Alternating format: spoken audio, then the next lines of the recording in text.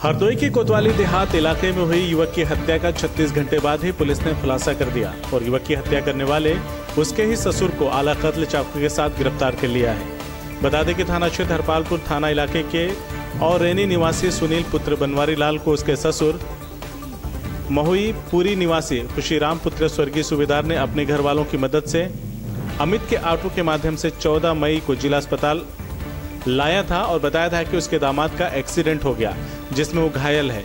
यहाँ जिला चिकित्सालय में चिकित्सक ने उसे मृत घोषित कर दिया और शव को पोस्टमार्टम के लिए भेज दिया था।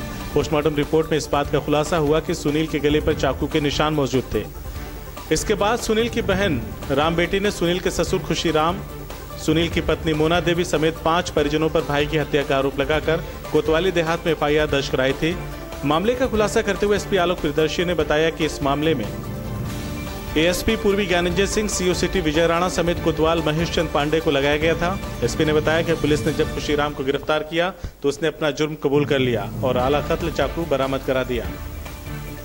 एसपी ने बताया कि खुशीराम ने पूछताछ में बताया कि उसका दामाद करीब आठ वर्षों से अपने घर में न रहकर अपने ससुराल में रहता था और कभी मजदूरी कर लेता उससे शराब पीता और जुआ खेलता था। जिस दिन की घटना है, उस दिन भी वो शराब के नशे में अपने बच्चों और उसकी बेटियों को लेकर बालाजी मंदिर खेतुई गया था। जहाँ सड़क हादसे में सभी घायल हो गए थे। जब वो शाम को बाज़ार से वापस आया तो उसने जानकारी करनी चाहिए तो सुनील झगड़ने लगा तो गुस्से में आकर उसने गला रेत दिया और फिर हादसा दिखाने के लिए अस्पताल ले गया। एसपी ने बताया कि पुलिस ने आरोपी को जेल भेज दिया है। दिनांक 16 मई को कोतवाली देहात थाना क्षेत्र में एक सुनील नाम के व्यक्ति की हत्या की सूचना मिली, जिस सूचना पर पुलिस ने मौके पर पहुँच करके शव को कब्जे में लिया उसको पोस्टमार्टम के लिए भेज दिया। घर वालों से बात की तो पूरी जानकारी इस प्रकार की मिली कि सुनील अपने ससुराल में आया हुआ था, जहाँ उसके ससुर ने उसके ऊपर अटैक करके उसके गले पर चाकू का वार करके उसकी हत्या कर दी। हत्या के पीछे कारण ये बताया गया कि सुनील की अपने ससुराल वालों से बनती नहीं थी। वो अपनी वाइफ को भी ट्रीट करता था और उसको कुछ गलत आदतें भी थी। इस बात को लेकर के ससुराल वालों से उसका थोड़ा तनातनी रहती थी। उस दिन जब वो आया था तो वहाँ रात्रि में ससुर और दामाद के बीच में शराब पीने को लेकर कोई बात वहाँ बिगड़ गई।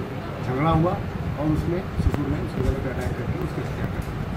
घटना की जानकारी करके, तहरीर प्राप्त करके मुकदमा लिखाया गया और आज पुलिस ने खुशी राम को अरेस्ट करके जेल भेजा है और जो हत्या में प्रयुक्त चाकू है, इसको पुलिस ने बरामद कर लिया है।